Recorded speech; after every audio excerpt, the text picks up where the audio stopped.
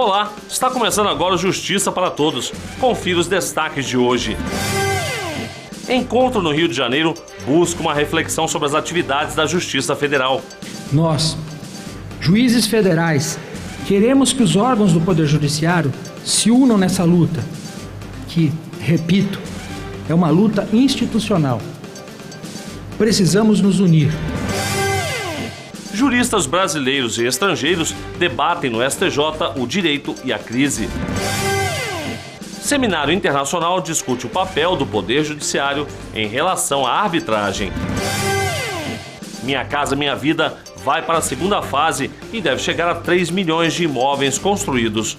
Eu sou Samuel Figueiredo e o Justiça para Todos já está no ar. Juízes federais de todo o país debateram no Rio de Janeiro temas de interesse dos magistrados e do jurisdicionado brasileiro. Foi no 29º Encontro Nacional dos Juízes Federais. Magistrados de todo o país e ministros do Supremo Tribunal Federal e do Superior Tribunal de Justiça participaram do encontro que teve como tema central neste ano a JUF 40 anos, Justiça Federal e Desenvolvimento. O ser humano sempre busca evoluir, né? Eu acho que a JUF está dando uma contribuição importantíssima ao trazer seus magistrados, seus associados, para pensar, repensar a sua atividade, repensar a atuação dos juízes federais, qual o papel da Justiça Federal, né? Para o judiciário, para a sociedade brasileira, é, é fortalecer né, a união entre os juízes, fortalecer a atuação do Poder Judiciário. E o tema tem, tem tudo com isso. Né? Quanto mais evoluirmos, mais a gente vai conseguir se realizar como profissional também. A Justiça Federal, ao longo desses 40 anos da AJUF, tem dado uma contribuição muito importante para o desenvolvimento do país e olhar também sobre a perspectiva da valorização do magistrado. Né? Hoje o magistrado se sente com uma autoestima não tão alta, então é importante que ele possa estar aqui, trazer suas angústias perante a cúpula do Poder Judiciário que estará aqui, os representantes do Supremo Tribunal Federal, do Conselho da Justiça Federal, discutir esses temas com bastante amplidão. É uma oportunidade nos, nós uh, nos reunirmos e discutirmos o futuro da carreira, uma carreira que está em desenvolvimento, a JUF está fazendo 40 anos, o mundo muda e a magistratura tem que mudar junto. Na abertura foi oferecido um jantar para os participantes. No discurso inicial, o presidente da Associação dos Juízes Federais, Nino Todo, destacou a importância da valorização da magistratura. A Justiça Federal tem se caracterizado pela qualidade de seus magistrados. É preciso, portanto, delas, deles cuidar. O Conselho Nacional de Justiça e o Conselho da Justiça Federal, como órgãos de planejamento estratégico do Poder Judiciário e da Justiça Federal, tem o dever institucional de zelar pela valorização da magistratura. O Conselho da Justiça Federal, justamente por ser da Justiça Federal, tem o poder e as condições de resolver uma série de temas que afetam diretamente a vida dos magistrados federais, melhorando sensivelmente seu estado de ânimo.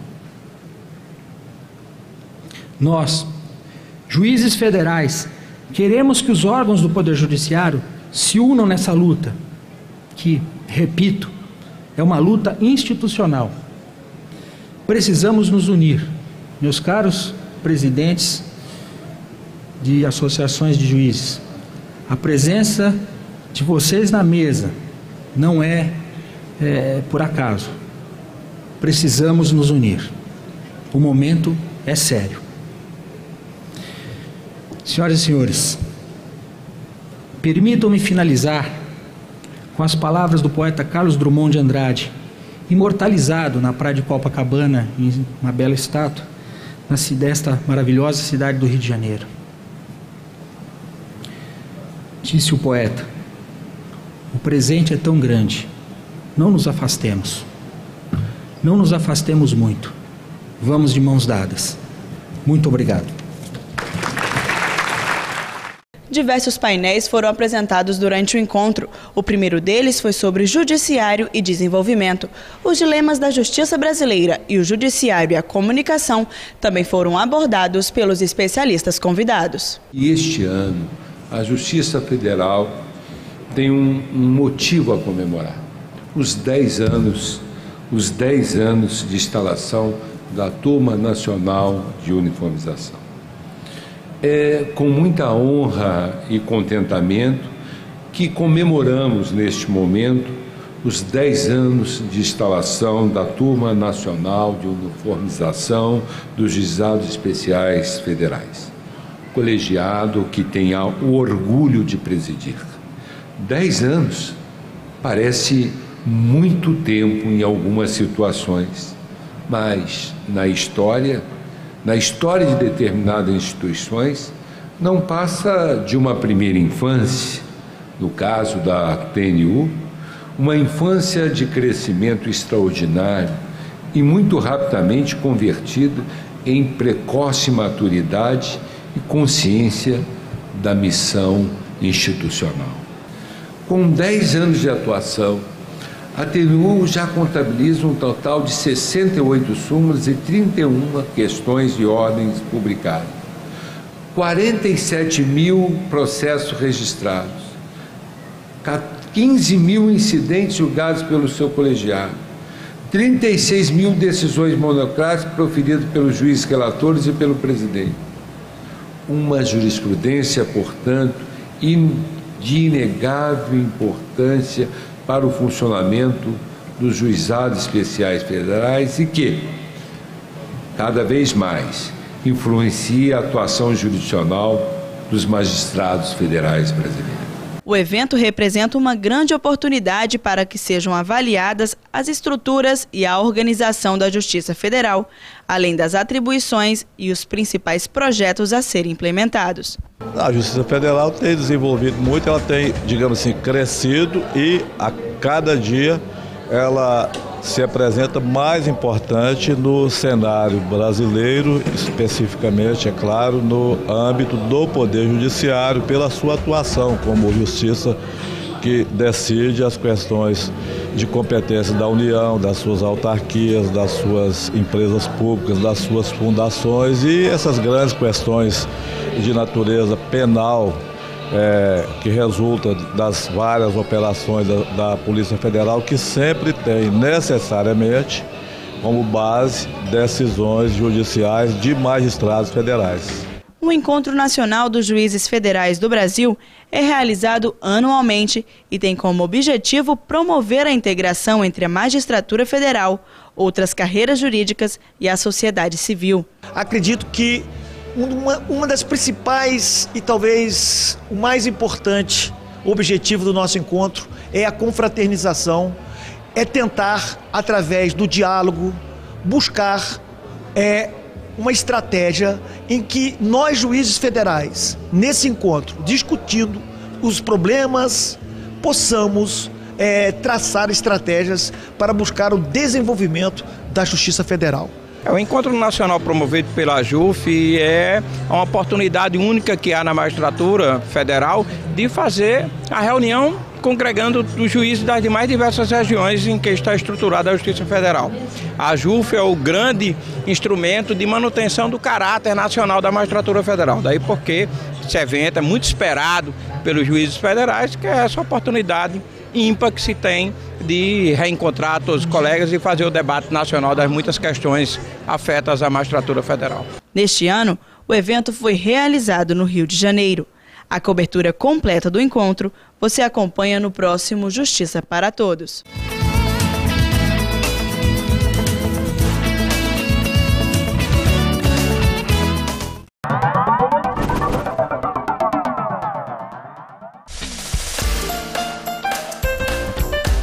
O Ministério da Justiça vai lançar a Escola Nacional de Mediação e Conciliação no próximo dia 12.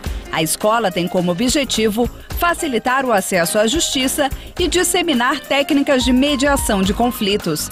Serão criados 14 cursos presenciais e semipresenciais destinados a juízes, promotores de justiça, defensores públicos, advogados, professores e estudantes. Já estão abertas as inscrições para a sexta jornada de Direito Civil. O evento vai reunir especialistas e operadores do direito para debater o Código Civil de 2002. A jornada está marcada para os dias 11 e 12 de março de 2013 no Centro de Estudos Jurídicos do CJF em Brasília. E veja a seguir: juristas brasileiros e estrangeiros debatem no STJ o direito e a crise. E ainda nesta edição, Seminário Internacional discute o papel do Poder Judiciário em relação à arbitragem. É daqui a pouco no Justiça para Todos. Seguinte, gente, presta atenção. Só tem uma coisa melhor do que poupar: é poupar na caixa. Claro. Eu sei como é que é, tá chegando o fim de ano, vem aquela graninha extra, décimo terceiro, férias. No fim de ano todo mundo quer gastar, comprar roupa nova, normal. Um quer viajar, outro quer comprar o um computador pro filho. Mas pega uma parte dessa grana, separa e põe na poupança da caixa. Porque tem um ano todo pela frente, se liga. Quem poupa, quando precisa, tem. Vem, Com o objetivo de discutir a complexidade e a simplificação do direito, o nono seminário Ítalo-Ibero-Brasileiro de Estudos Jurídicos reuniu na última semana juristas de vários estados do país e também estrangeiros.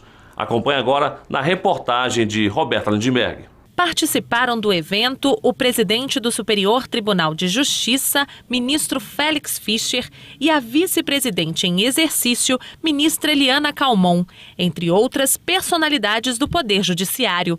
Todos os convidados fizeram questão de destacar a importância do evento. O Judiciário há de acompanhar a sociedade nos seus anseios, nas suas necessidades e para isso discutir num evento como esse uh, as questões inerentes a essa evolução, a essa dinâmica, a, a, problemática realmente do atendimento das demandas em massa que hoje eh, batem a porta do judiciário é fundamental. E um evento como esse permite, nos dar a oportunidade realmente de partilhar anseios e informações sobre o tema. Quando nós temos contato com problemas de países do primeiro mundo, como a Itália, a Espanha e de outros países também, isso ajuda a compreender também problemas comuns, em razão até da própria globalização que hoje nós temos. Os problemas é, da crise econômica, financeira e internacional é, são os mesmos problemas que nós temos aqui no Brasil. Então, como eles estão lidando com essa matéria lá, como nós podemos lidar com essa matéria aqui, é a troca de informações, esse intercâmbio, são esses estudos que ajudam a desenvolver a ciência jurídica, que ajudam a desenvolver a própria ordenação da sociedade. Nós estamos vivenciando uma crise eh, mundial com reflexos no Brasil e é fundamental que nós façamos um diagnóstico desta crise. E a partir desse diagnóstico, então, nós podemos buscar uh, soluções. Algumas que não dependem de nós, mas outras que dependem do próprio judiciário, que vive um momento também bastante delicado, com uma multiplicação cada vez maior no número de processos, no número de recursos, enquanto que os seus recursos materiais eles estão paralisados por questões financeiras. Então é muito importante toda essa discussão e vamos encontrar certamente as soluções. O Conselho Nacional de Justiça criou, por uma resolução 125 de 2010, a ideia de termos os centros de conciliação e cidadania e esses centros de cidadão, é, centros de conciliação, vêm justamente, eu acho que para albergar, né, para garantir esse direito do cidadão de ter previamente transacionada, acordada, conciliada a sua pretensão antes de buscar a, a, a solução de sentença, a solução judicial que todos nós sabemos que essa sentença judicial ela vai abranger aquele caso só e, e, e tem as suas ramificações, todo caso tem uma ramificação. E neste caso, eh, com a conciliação, se aumenta sobremodo a possibilidade da pessoa sair feliz, muito mais feliz desta demanda solucionada de forma amigável do que da forma adjudicada. A coordenação do seminário este ano ficou por conta do desembargador aposentado do Tribunal Regional Federal da Primeira Região, Carlos Matias. Mais um seminário que completa 30 anos, porque tem 21 anos com eram juízes italianos e brasileiros, e agora nove com juízes italianos, brasileiros, portugueses e espanhóis, e, e com esta participação maciça não é? E com o que uma avaliação, então eu posso dizer no mínimo que é um seminário com regularidade e um seminário que disse o que veio. Para o presidente da Associação dos Juízes Federais do Brasil, Nino Toldo, esse intercâmbio enriquece a discussão e traz a oportunidade de debater não apenas o papel do judiciário em épocas de crise, mas também a crise enfrentada pela justiça. No Brasil, ao longo dos últimos 30 anos, nós vivemos em, em constantes crises, eh, planos econômicos e, e, tudo mais. Daí a relevância desse seminário é, é, sem dúvida nenhuma, enorme. O Minha Casa Minha Vida é um programa do governo federal. Um dos bancos parceiros é a Caixa Econômica. Só na primeira fase do programa foram contratadas mais de um milhão de moradias. A expectativa é que até 2014 sejam construídos mais 2 milhões de casas e apartamentos. Comprar a casa própria. O brasileiro está conseguindo cada vez mais realizar o sonho de sair do aluguel. O aluguel é um dinheiro jogado fora, um bem, um bem ter um BC, um bem seu mesmo, isso é impagável. Ah, não tem coisa melhor. A pessoa deita a noite no travesseiro com toda a calma, né? Porque uma das coisas mais difíceis é a pessoa não ter um teto próprio, né? É bom você, você ter é, tranquilidade, né? Tranquilidade, você ter um apartamento ou uma casa, seja como for, mas é uma tranquilidade para a pessoa. Mais fácil hoje você conseguir um crédito no mercado para conseguir financiar uma casa própria. Um programa do governo federal tem ajudado na realização desse sonho. Em parceria com estados, municípios, empresas e entidades sem fins lucrativos, o Minha Casa Minha Vida já contratou mais de um milhão de moradias. O programa atende três categorias. Pessoas com a renda até R$ 1.600 ficam na fase 1, até R$ 3.100 na fase 2 e até R$ 5.000 na 3. Todas recebem auxílio para financiar um imóvel. No momento da contratação, ela recebe é, é, o, o, o, valor da subvenção, né, que é um valor que, na verdade, ele é, é diferido no tempo. Então, ela firma um contrato num, num, prazo de 120 meses, então serão 120 prestações mensais. O valor da contribuição financeira dela será 5% da sua renda mensal, limitado a um mínimo de 25 reais por mês. O restante da prestação mensal é então aportado a título de subvenção pelo FAR, pelo Fundo de Arrendamento Residencial. Né? As faixas 2 e 3, você tem já uma, uma habitação um pouco mais de mercado. Embora na faixa 2 você tenha ainda um valor de subvenção, que, é, é, diferentemente da faixa 1, não é concedido de forma é, diferida no tempo, ele é concedido no ato da contratação. A pessoa recebe uma subvenção é, é que é um valor já muito menor, então por exemplo, imóvel de 90 mil, ele pode receber em torno de 15 mil reais de subvenção, por exemplo. E aí o restante, então, ele financia, ele faz um contrato de financiamento com a instituição financeira e aí financia o restante, geralmente dentro do, do SFH, né, Sistema Financeiro de Habitação.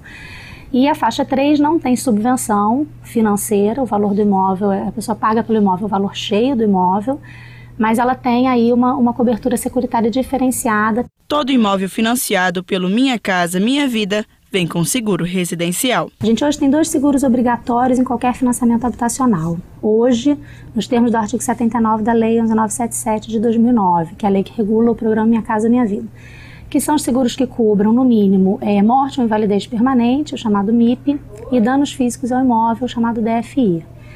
Né? No, no, Minha Casa Minha Vida faixa 1, que é aquele que o fundo de arrendamento é o dono do empreendimento e aliena as unidades aos beneficiários, é o próprio FAR quem cobre o financiamento no caso de falecimento ou de uma invalidez permanente. E é ele também o responsável por recuperar o imóvel no caso de danos físicos ao imóvel.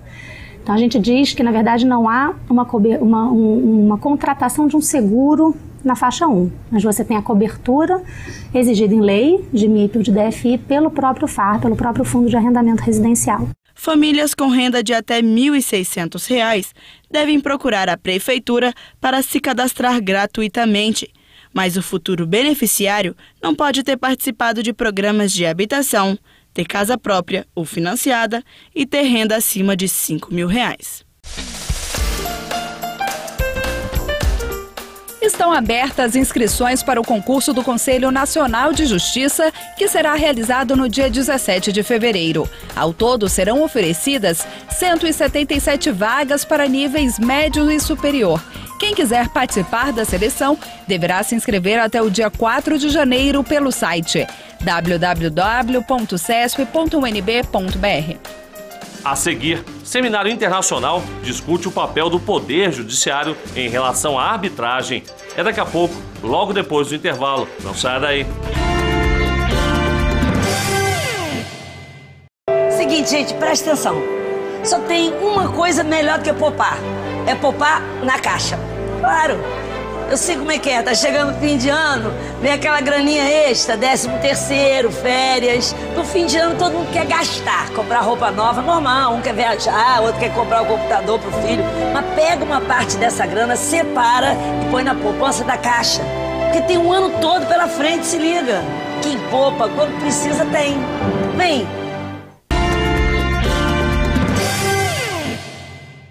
A Escola Nacional de Formação e Aperfeiçoamento de Magistrados, ENFAM, passou a integrar a Estratégia Nacional de Combate à Corrupção e à Lavagem de Dinheiro, a ENCLA. O acordo de cooperação técnica entre as instituições, que deve ser assinado nas próximas semanas, estabelecerá um intercâmbio de conhecimento e de profissionais entre a ENFAM e os demais órgãos membros da ENCLA serão desenvolvidos cursos, seminários e palestras para o aprimoramento técnico e teórico de magistrados federais e estaduais e de agentes que atuam contra a corrupção e a lavagem de dinheiro no Brasil. Discutir o papel do Judiciário no controle das sentenças arbitrais estrangeiras. Esse foi o objetivo do Seminário Internacional de Arbitragem, realizado no Superior Tribunal de Justiça. O evento contou com a participação de autoridades no assunto. O corregedor da Justiça Federal e diretor do Centro de Estudos Judiciários, ministro João Otávio de Noronha, fez a abertura do seminário.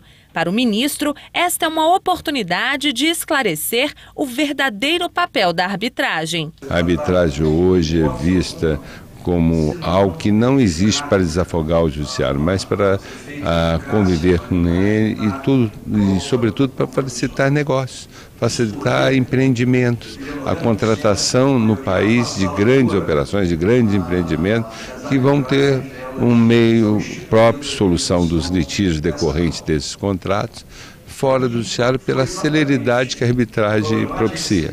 O coordenador científico do seminário, César Augusto Guimarães, destacou a importância de divulgar a arbitragem como uma solução eficaz para a resolução de conflitos. Ao contrário do Poder Judiciário, que é uma instituição né, é, construída ao longo dos séculos é, é, e destinada à solução de conflitos, é, a arbitragem depende é, para que ela, ela se torne, é, é, para que ela seja realizada, depende de um acordo entre, entre as partes, é, de, um, de, um, de uma convenção, de um contrato, através do qual as partes concordam em submeter o seu litígio à arbitragem. Por isso, não há como a arbitragem, como as partes se valerem, as, as empresas, as pessoas se valerem da arbitragem como meio de solução dos seus conflitos, se não conhecendo que ela existe, conhecendo que ela pode ser eficaz e sabendo como, é, como se valer desse instrumento.